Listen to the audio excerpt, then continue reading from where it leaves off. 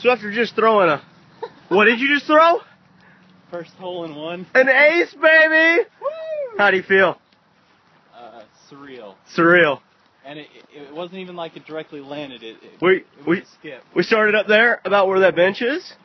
He threw it down here. And it went in, and it was a professionally laid skip, and it landed right in the basket. We're walking up right now. It's Adam's first. Skip hole in one. It's like skip over racing school, only better. Dude, your throw was hot too. You're My pathetic throw didn't even make it in the hole. wow. We're, we're witnessing Adam walk up to the hole to claim his hole in one on what used to be hole 14. Oh, did